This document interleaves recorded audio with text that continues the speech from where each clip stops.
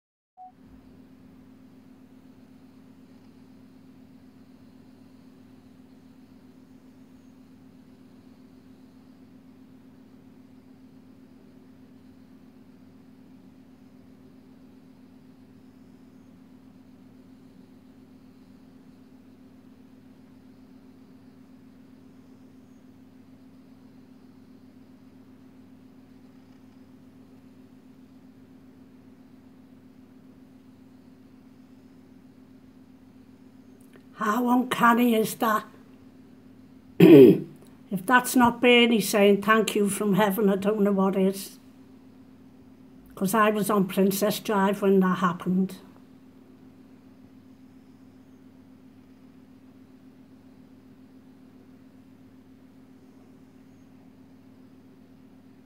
And he asked them kids, was it theirs? But it wasn't.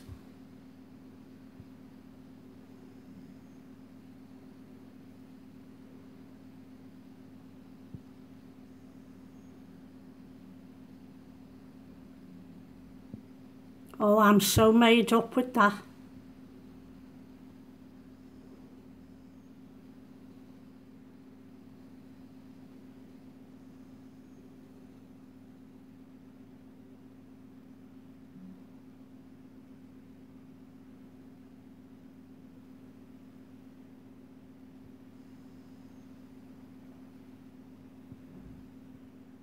so made up with it and look at the time 15, 11, I was on Princess Drive when that happened.